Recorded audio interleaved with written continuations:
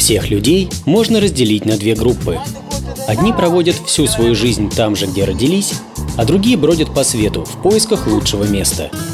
Тысячи людей на протяжении многих столетий бросали насиженные места и отправлялись в дорогу – открывать новые земли и континенты.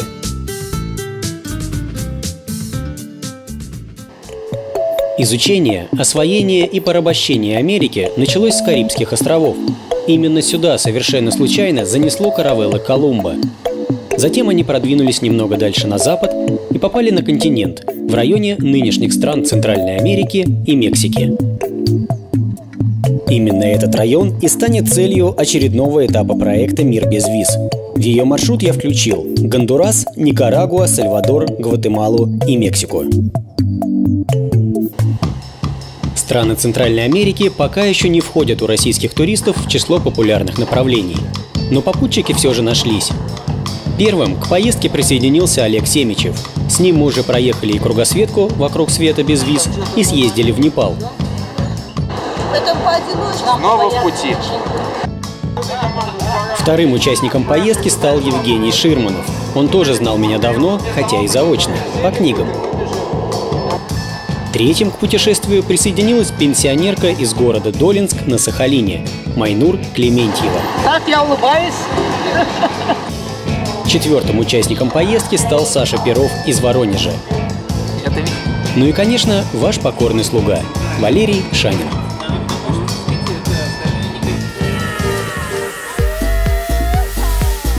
Самостоятельно путешествовать по Центральной Америке очень опасно. Это один из самых бандитских регионов мира. Здесь туристов не только обворовывают, но и грабят. Подавляющее большинство бандитов вооружены огнестрельным оружием, и они, не раздумывая, пускают его в ход. Но ведь есть и ради чего рисковать. Затерянные в джунглях руины городов Майя, действующие вулканы и белые песчаные пляжи побережья Карибского моря, архитектурные жемчужины колониальной Мексики и Гватемалы.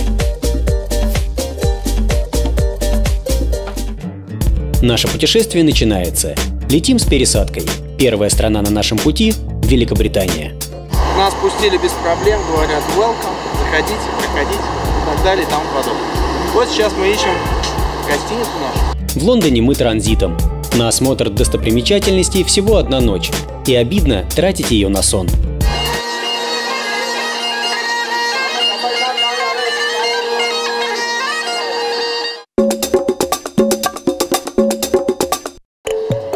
Мехико подлетаем в темноте. Паспортный контроль в аэропорту имени Бенита Хуареса прошли на удивление быстро и направились в сторону ближайшей станции метро. Центр Мехико оказалось очень уникально, очень просто. Все, садишься в метро, за 9 рублей нашими российскими доезжаешь до центра города и свободно гуляешь вот, вот здесь. По пути в Мексику я всячески стращал своих попутчиков высокой криминогенной опасностью Центральной Америки. Советовал не оставлять свои вещи без присмотра, внимательно следить за поведением приближающихся на близкое расстояние незнакомцев, без особой нужды от группы не отделяться. Возможно, я и зря так запугиваю своих попутчиков, но ведь даже по статистике на страны Латинской Америки и Карибского региона, в которых проживает около 8,5% мирового населения, приходится около 27% убийств.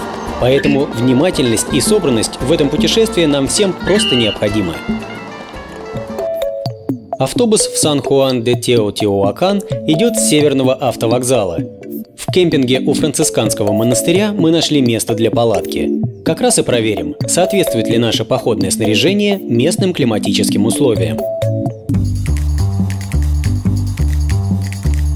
Утром в сторону руин Теотиуакана пошли пешком. Судя по словам местных жителей, до них всего 3-4 километра. Чем дальше мы шли, тем больше народу было на дороге. Ныне заброшенный город Теотиуакан, город, где люди становятся богами, был основан в начале нашей эры.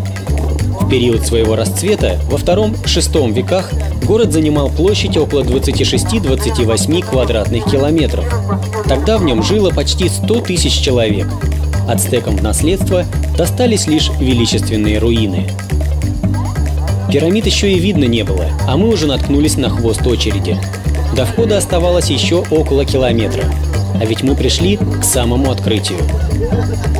Какая-то очередь, непонятно. Может быть, это очередь на пирамиды? А куда же? А чего вы встали? А куда же? Ну, заняли, потому что смотрите, она какая. Это либо за А колбасой куда-то влево, в какую-нибудь палатку очередную, либо на пирамиду. Оказалось, нас угораздило попасть в Теотиуакан 21 марта, в день весеннего равноденствия, когда центр Солнца в своем движении по эклиптике пересекает небесный экватор и переходит из южного полушария в северное.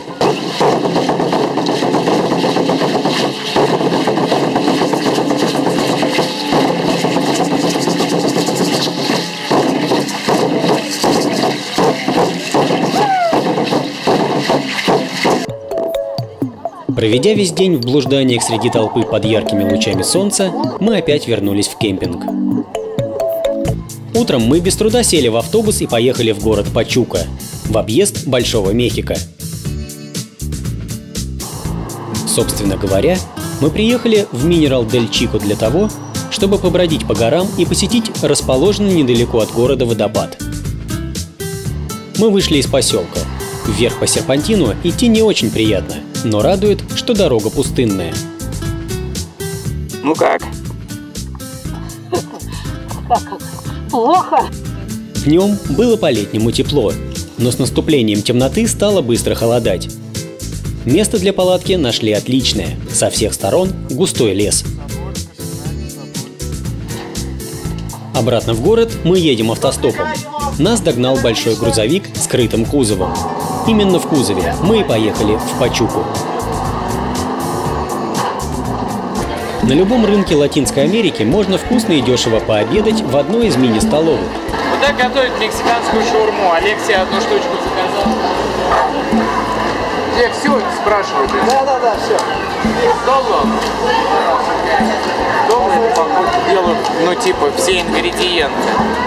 От деревни Сан-Мигель-дель-Милагро до руин Какаштла придется идти пешком, вверх по склону холма. Кстати, именно жители этой деревни, а не археологи, и открыли город Какаштла. В сентябре 1975 года они рыли на вершине холма яму и совершенно случайно наткнулись на кусок древней стены. На нем удивительно хорошо сохранилась фреска с изображением человека-птицы. Как только об этой находке проведали ученые, начались археологические раскопки. Я там прочитал, что очень много связано именно в этом храме, на этих руинах вообще с планетой Венеры, что у них был астрологический календарь, привязанный именно к Венере. И здесь очень много как раз символов планет. С холма, на котором расположены руины Какаштлы, прекрасно виден соседний холм, на котором находился древний церемониальный центр Шочетекатль. Музыка. Музыка играет Баста, Калифорния. Но мы Это не штат в. Мексики, но мы не здесь. Мы как скале и танцуем на фоне вулкана. На высоте 2135 метров над уровнем моря в окружении сразу четырех вулканов – Арисаба, Попокатепетель, Истоксиуатль и Малинче лежит город Пуэбло де Сарагоса, хотя обычно его называют просто Пуэбло, точно так же, как и весь штат.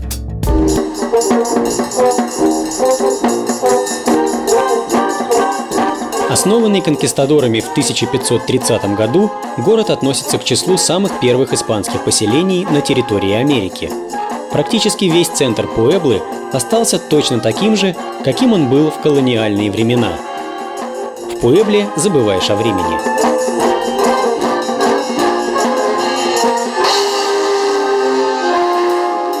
Бродя по центральным улицам, то зайдешь в одну из 99 церквей, то вдруг неожиданно наткнешься на маленький музей.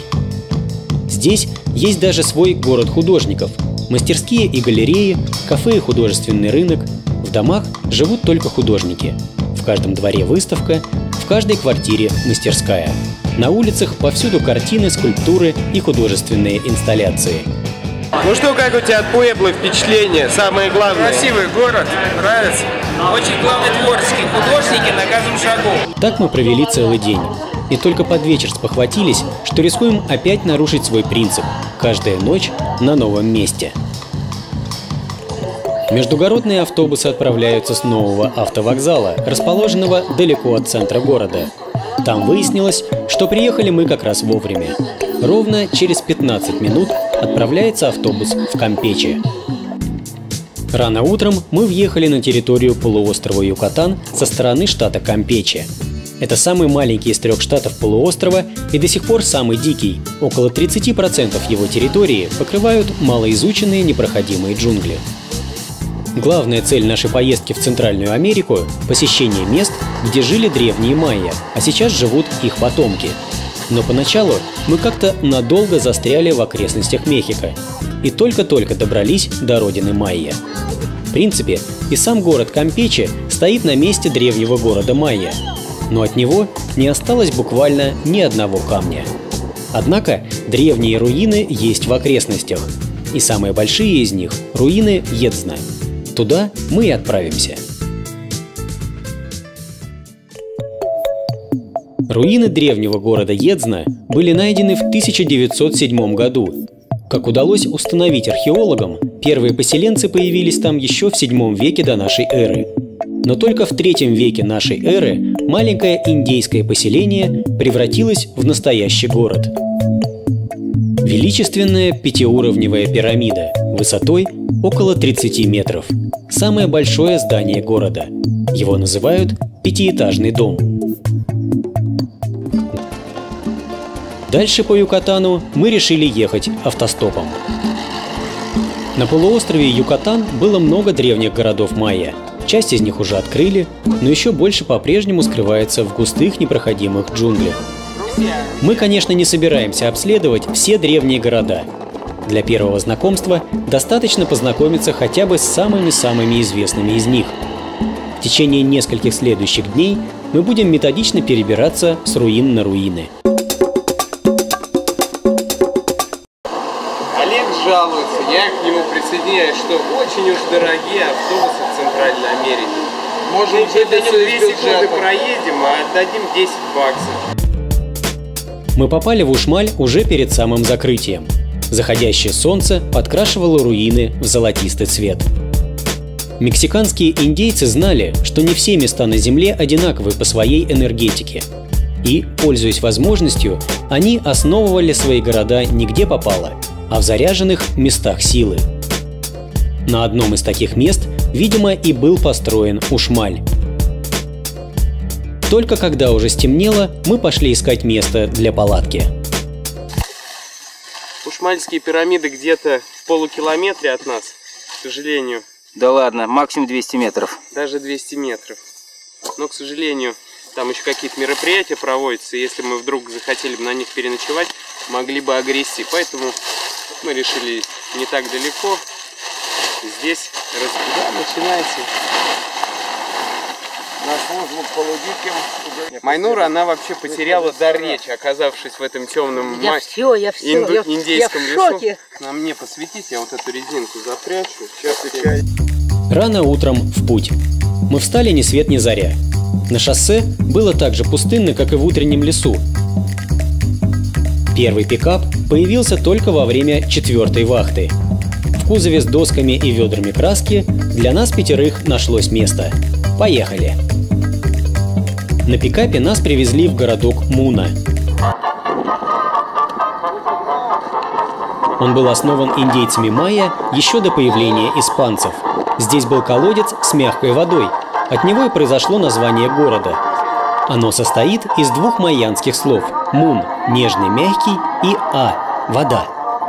В центре города заполненные велорикшами улицы, большой сквер вместо центральной площади, колоритный рынок и огромная францисканская церковь по соседству.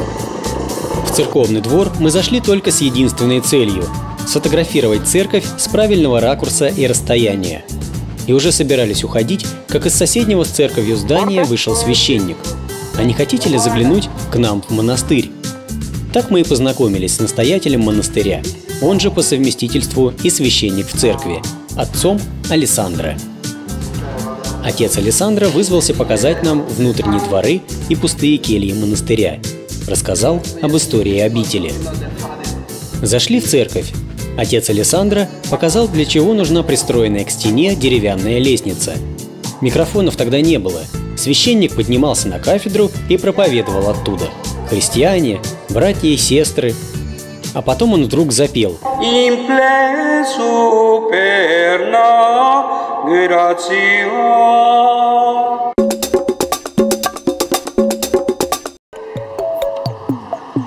В сторону Мериды мы уехали на маршрутке.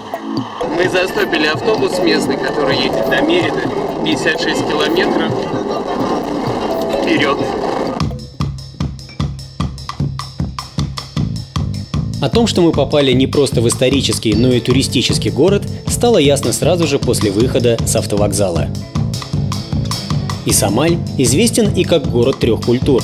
В его формирование внесли свой вклад представители древней культуры майя, испанцы колониального периода и современные мексиканцы.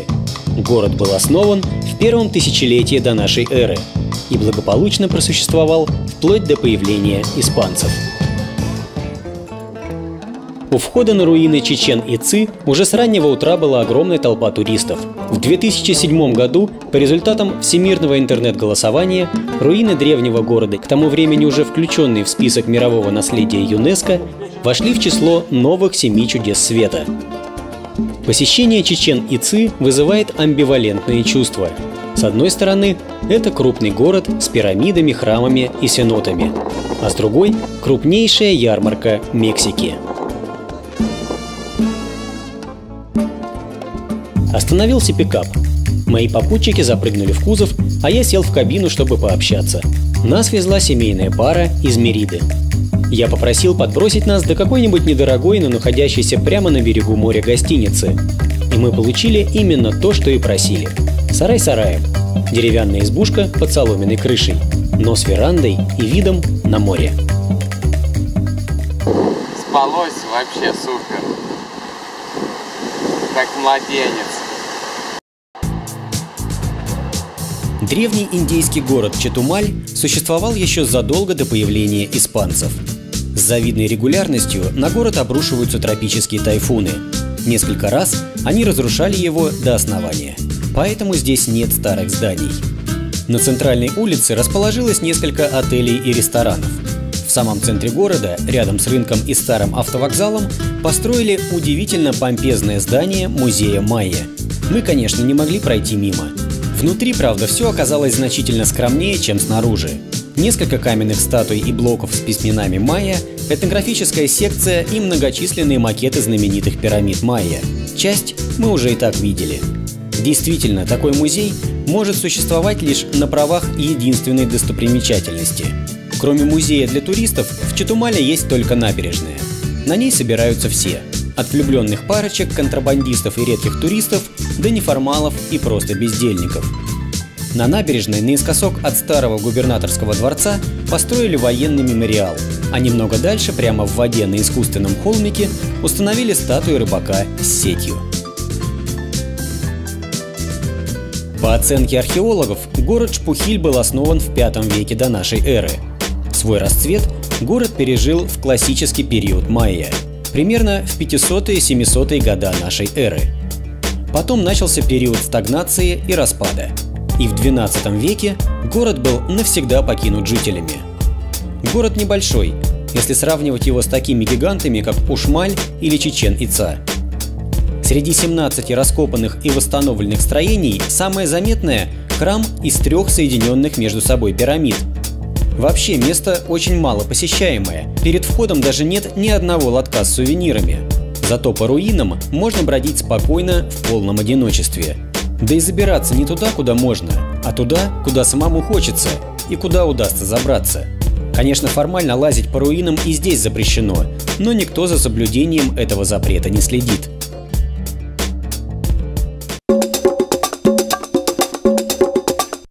Шоссе номер 186 вызывает удивительные ощущения. Кажется, что с ним что-то не так. Прекрасная, широкая, недавно покрытая новеньким асфальтом дорога, но удивительно пустая. Мы на необи... необъятных просторах мексиканских шоссе. Асфальт, кстати, отличный, практически везде идеальный. Только вот что-то машины не ходят пока. И для кого так старались? Автобусы ходят 2-3 раза в день, машины 2-3 раза в час. Народ в Мексике душевный. Поэтому автостопом здесь ездить очень легко. Даже нам, в пятером. Большинство приезжающих в Поленке бэкпакеров предпочитает селиться не в городе, где есть много шикарных отелей, а на пути к руинам, в одном из простых гестхаусов или кемпингов, прямо в джунглях. Руины расположены в удивительно живописном месте, на широком уступе на заросшем густыми джунглями склоне горного хребта. Сохранившиеся от древнего города Майя руины только еще больше подчеркивают естественную красоту места. В Паленке завершился первый этап нашего путешествия по Центральной Америке. Отсюда мы уезжаем дальше на юг, в Гватемалу, но уже не полным составом. Я часто и серьезно запугивал своих попутчиков бандитами, поджидающими нас в Центральной Америке. Эффект получился неожиданный для меня. Олег решил дальше не ехать. Собрал рюкзачок, поеду в Мехико. А мы вчетвером, Саша Перов, Евгений Ширманов и Майнур Клементьева, на следующее утро отправимся на границу Гватемалы.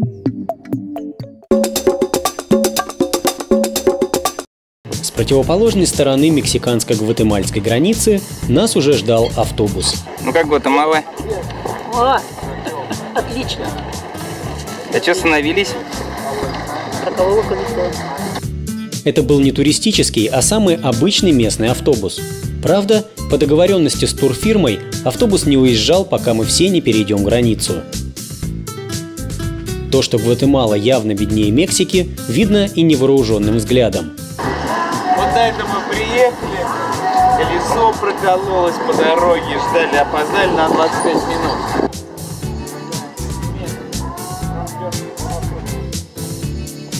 На острове посреди озера создана туристическая резервация. Только для туристов, обслуживающего персонала и охраны.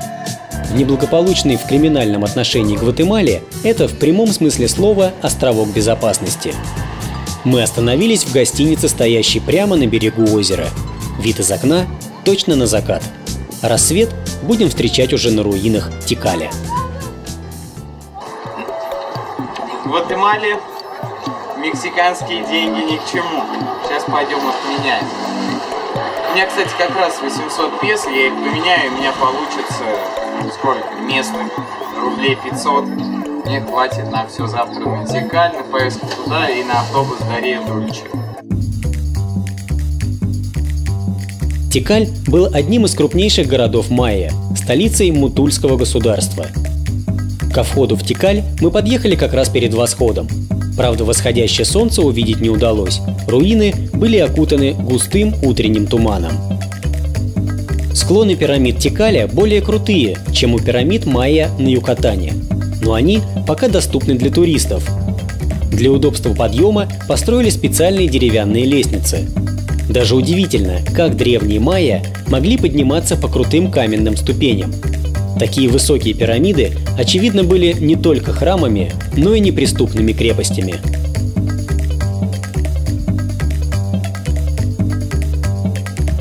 С автовокзала в Санта-Елене едем в Рио-Дульче на списанном в США школьном автобусе. Такие автобусы до сих пор составляют в Гватемале значительную часть автопарка. В городок Рио-Дульче мы приехали уже поздним вечером. В гостиницу для бэкпакеров мы пошли пешком. Огромный деревянный барак, похожий на солдатскую казарму, заставленный двухэтажными кроватями, был предоставлен в наше полное распоряжение. Из Рио-Дульче дважды в день, утром и во второй половине дня, отправляется катер в Ливингстон. Поездка на этом катере как два в одном – и проезд, и экскурсия по реке. По пути к Карибскому морю наша лодка останавливалась во всех туристических местах. У построенных на сваях домов, у горячих источников они бьют в ванне, отгороженной от реки каменным заборчиком. И, конечно, у ресторана, рассчитанного именно на туристов. Судя по карте, Ливингстон находится на материке, но живут здесь как на острове. Дороги по-прежнему нет, на Большую Землю отсюда можно попасть только по воде, по реке или по морю. Всю жизнь мечтал, только парусник осталось купить и недвижимость здесь. Два квадратных метра покупать. И вот суденушка какой-нибудь и прекрасно.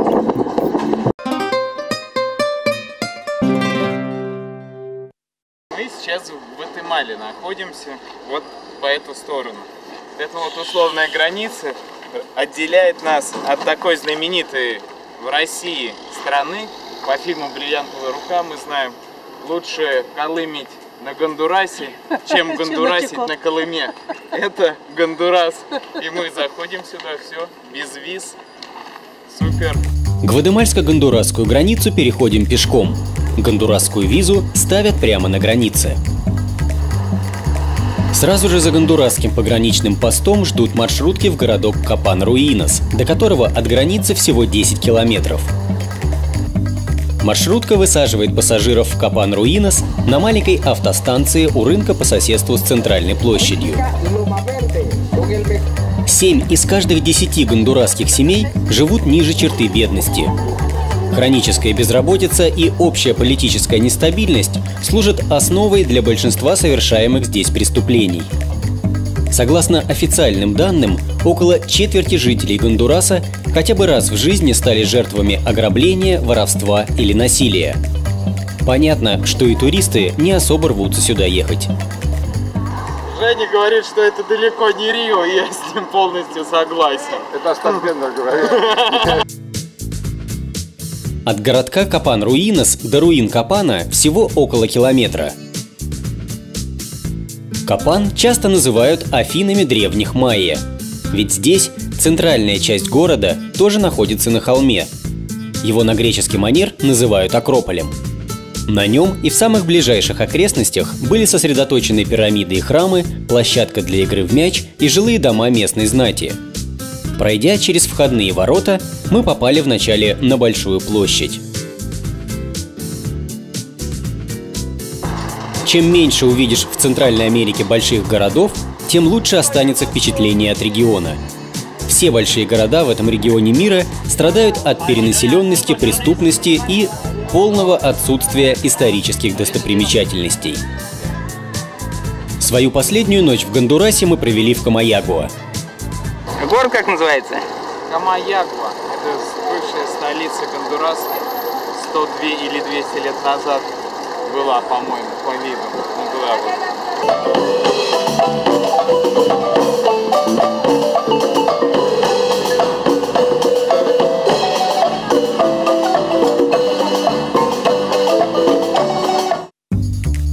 Рано-рано утром, едва рассвело, пошли пешком на шоссе, чтобы ловить проходящий автобус в сторону Тегусигальпы. Крупные города в Центральной Америке грязные, шумные и опасные. Объехать их очень сложно. Более того, для удобства бандитов в них нет единого автовокзала. Автобус приходит на какой-нибудь рынок в одном бандитском районе, а уезжать нужно с другого.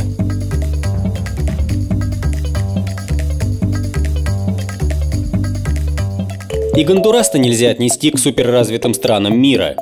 Но судя по погранпереходу, к которому мы приехали, Никарагуа будет еще победнее. Привет от Никарагуа! Въезд в Никарагуа для нас безвизовый.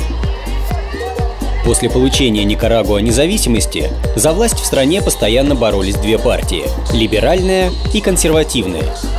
Исторически сложилось так, что опорной базой либералов стал Леон, город торговой буржуазии, а консерваторов – Гранада, центр крупных помещиков-латифундистов и консервативных католических священников. В Лионе мы разделяемся. Саша Перов решил поехать на неделю в Сан-Хуан-дель-Сур на берегу Тихого океана учиться серфингу. Остальные предпочли поездить по стране, поэтому утром он уезжает на океан, а мы втроем в Гранаду.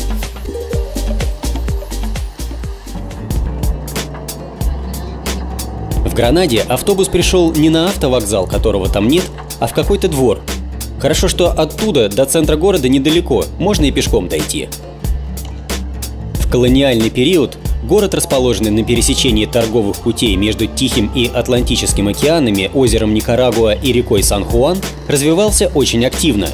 Но именно из-за этого на него часто нападали пираты и бандиты, особенно в периоды нестабильности, во время войн и революций. Автобус привез нас на автостанцию в Ривасе. В этот город обычно попадают только транзитом на пути к островам озера Никарагуа или в Коста-Рику.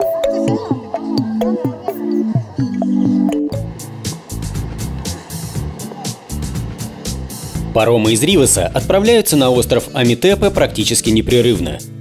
Как только загружается и отходит один, ему на смену спешит другой. Поэтому ждать нам пришлось недолго. Плывем на самый большой озерный остров самого большого озера Центральной Америки на пароме. На паромах, курсирующих из Сан-Хорге в Майагальпу, перевозят только местных жителей и горстку туристов – Маягальпа – один из крупнейших городов острова Амитепе. Сюда попадают все туристы. Просто потому, что именно в этом городе находится паромная пристань.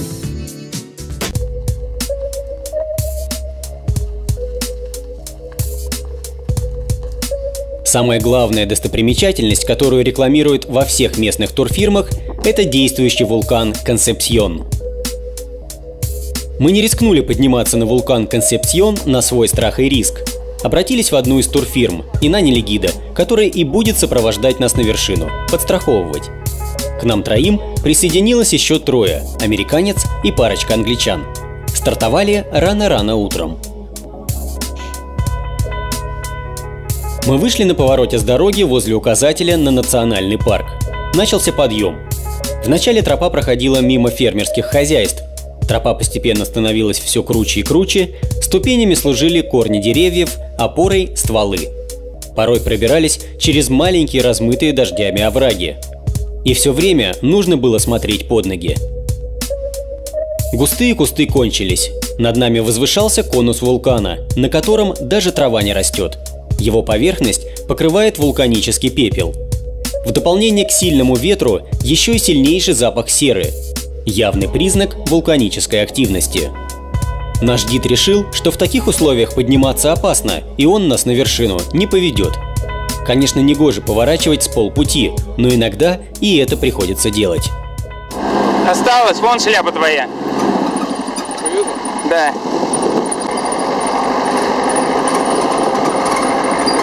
На следующее утро мы продолжили свое движение в сторону вулкана Мадерас. Как это обычно и бывает в автостопе, совершенно случайно мы попали в место, о котором и не слышали.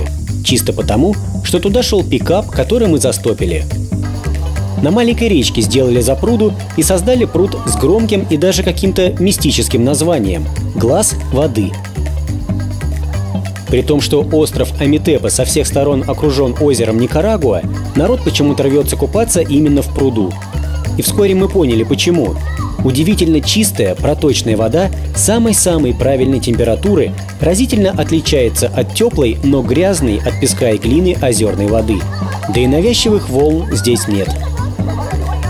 Заглянув в глаз воды исключительно из любопытства, просто потому, что случайно здесь оказались, мы застряли там на пару часов. Очень уж не хотелось уходить. Видимо, это действительно какое-то мистическое место. И не только нам хочется задержаться там подольше. После купания в прохладной воде даже приятно было не ехать, а не спеша пройтись пешком. Тем более, что дорога здесь удивительно напоминает пешеходную дорожку. И транспорта на ней практически нет, и сама дорога покрыта не банальным асфальтом, а выложена почему-то тротуарной плиткой. Так, по тротуару мы и пришли в Сан-Рафаэль. Этот курортный поселок с песчаным пляжем на берегу озера считается самым главным пляжным курортом острова. Именно сюда стремятся все приезжающие на остров Амитепа туристы. Гостиницы здесь есть, но желающих в них поселиться еще больше, особенно сейчас, в предпасхальную неделю. Нам просто повезло. Мы заняли последнее свободное бунгало – и потом видели, как несколько раз в гостиницу заходили и разочарованно уходили те, для кого свободных мест уже не нашлось.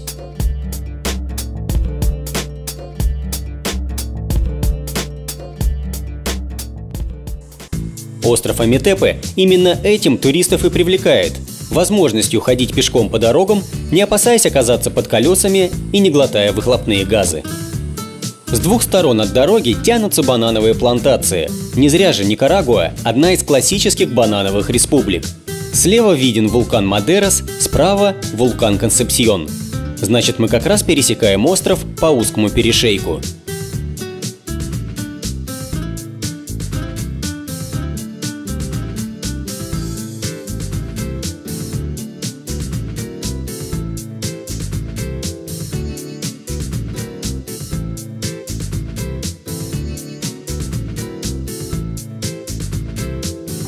Сан-Рамон мы приехали на автобусе.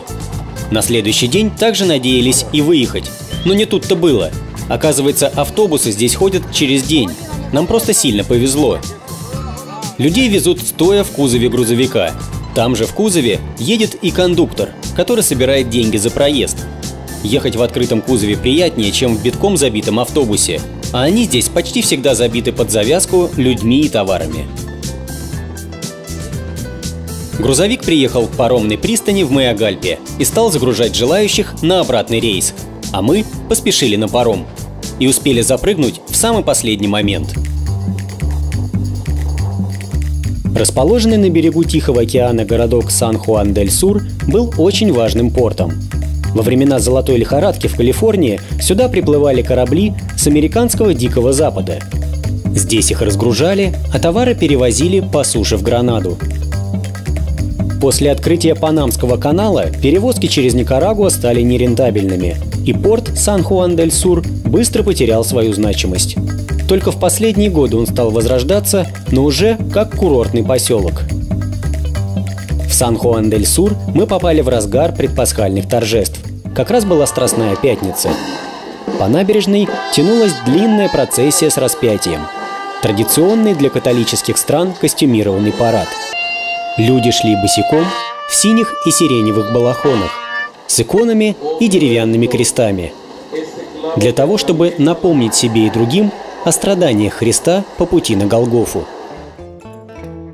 Но народ, забивший все улочки и центральный пляж города практически под завязку, приехал в Сан-Хуан-дель-Сур совсем не на парад. Все же значительно больше здесь обычных любителей пляжного отдыха – для них пасхальная неделя – это прекрасная возможность съездить к морю. Из-за наплыва отдыхающих цены в местных отелях выросли в 2-3 раза. Да еще и место просто так не найдешь.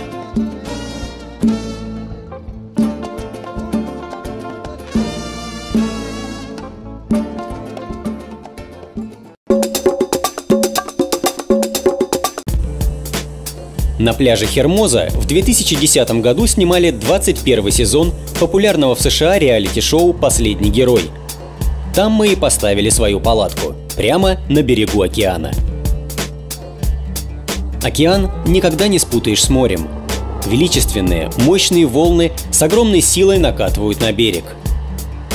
Именно эта часть Тихоокеанского побережья больше всего привлекает серферов. Тут самые правильные для серфинга волны – Саша Перов целую неделю учился стоять на доске, но больших успехов не достиг.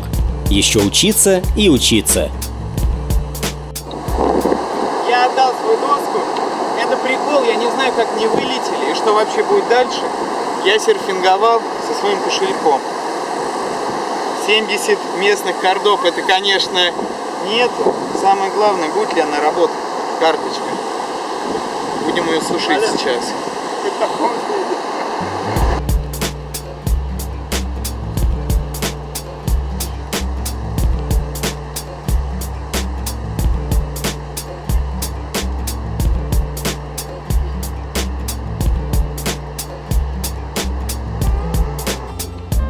К вечеру большая часть посетителей пляжа разъехалась, и мы остались на берегу почти в полном одиночестве.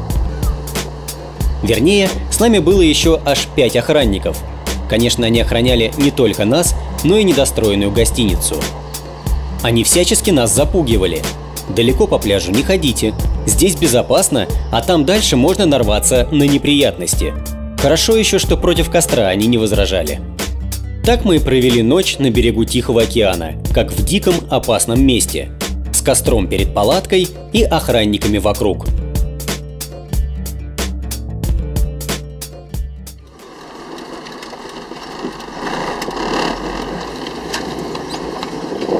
Ну что, а как Никарагуа? Никарагуа чудная страна. Мне мой серфинг запомнится больше всего. Это круче Мексики, и этот пляж на Тихом океане. Славное местечко. Лучшее для меня. Поэтому Никарагуа лучшая страна пока в путешествии. Лучше может быть только Сальвадор, сомневаюсь.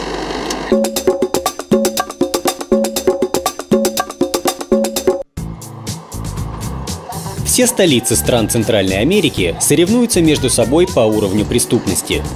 Среди них нет ни одного маломальски безопасного города, только опасные и очень опасные. Какой же из них самый опасный? Трудно сказать. Ну что, Саш, куда попали? Попу. Город называется, соответственно, Апопа. В Сальвадоре без Апопы никуда. Время пол первой ночи на какой-то заправке, не знаю, говорят, порешат нас. Руины Сан-Андреас находятся всего в 20 километрах от столицы. Пройдя метров 20 налево, мы поставили палатку прямо на тропе, между забором и полем. Как первая ночь в Сальвадоре, говорю. Отличная ночь. Очень понравилось. Даже не кашляно, да? Увидеть руины Сан-Андреаса нам в этот раз не удалось. В понедельник они закрыты. Но достаточно и того, что мы пропитались древними вибрациями. Спали-то прямо считай на территории древнего города. Жаль, что не знаю, не знаю испанского, я бы его сейчас подкупил бы. Пожалуйста.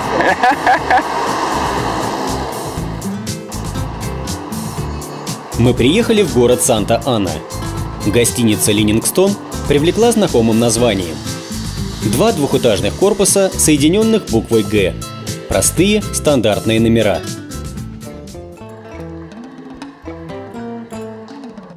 Из Санта-Аны мы поехали на автобусе 15 километров до городка Чальчуапа, одного из самых древнейших городов страны. Город Чальчуапа, руины которого дошли до наших дней, существовал в период с конца первого века до начала 13 века, а свой расцвет пережил в классический период майя в третьем-восьмом веках. Вулкан Илапанга, расположенный в 75 километрах к востоку от Чальчуапы, пепел которого обеспечил плодородие почвы и высокие урожаи, стал и причиной гибели города. Город погиб внезапно. Как и итальянские Помпеи, его засыпало слоем пепла. На микроавтобусе мы доехали до городка Консепсьон де Атака. Меньше 10 километров, но по крутому горному серпантину. Сальвадор – самая маленькая страна Центральной Америки. Но быстро пересечь ее из конца в конец невозможно. Из-за того, что большую часть территории занимают горы. Сальвадорцы шутят. Если бы нашу страну хорошенько проутюжить, то она стала бы значительно больше. Что за город? Апанека. Апанека. Город Апанека. До этого мы были в Атако. Город один в один. Антигуа – старая столица страны. Чтобы не заезжать по пути в новую столицу Гватемала-Сити, мы поехали в объезд с пересадкой. По Антигуа можно ходить и день, и два, и три. Город вроде бы и не очень большой, но очень насыщенный достопримечательностями. Практически все старые здания, которые удалось восстановить, используют для обслуживания туристов. В старинных особняках и дворцах работают школы испанского языка, отели, рестораны, туристические агентства. И туристов здесь больше, чем в каком-либо другом городе Центральной Америки. И атмосфера какая-то приподнята праздничная. Гватемала – одно из тех уже редких мест на Земле, где люди боятся фотографироваться. Фотографов здесь нередко избивают.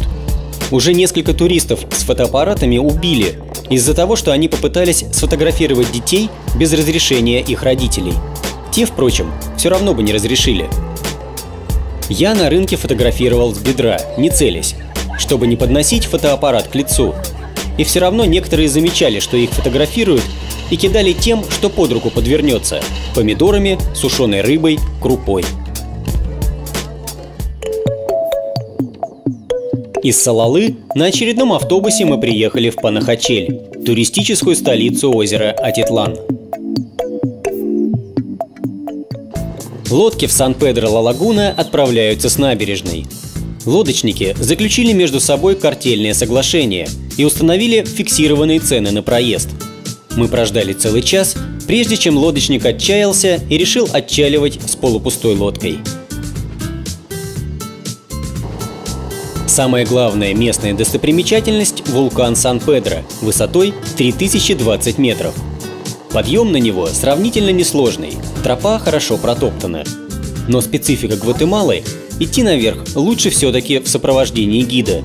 И не для того, чтобы он показывал дорогу, а исключительно для защиты от местных разбойников. Нужно будет идти километра три, часа три или четыре. И и зря мы согласились на эту авантюру.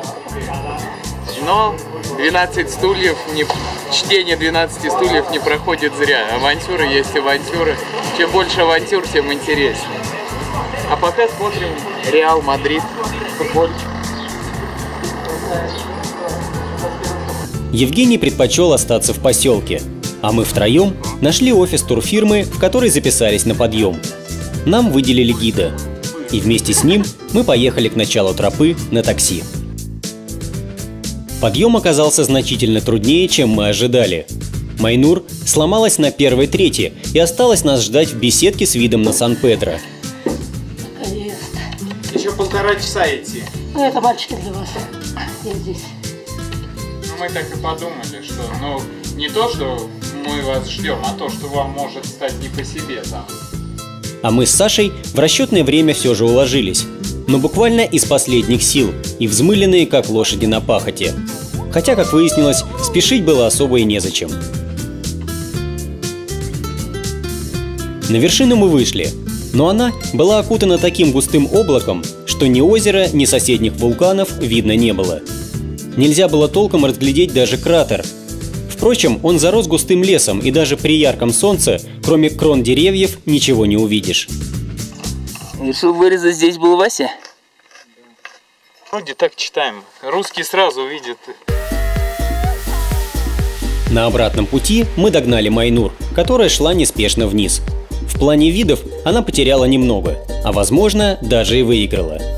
Наверху или густой лес, или облако, а с нижней части склона прекрасно видны и поселок Сан-Педро, и лагуна перед ним.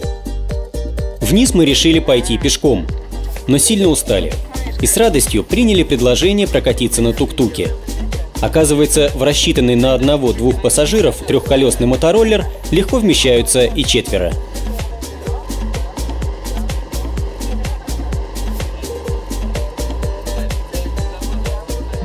Единственный более-менее безопасный способ перебираться от одной прибрежной деревушки до другой – по озеру, на моторных лодках и катерах.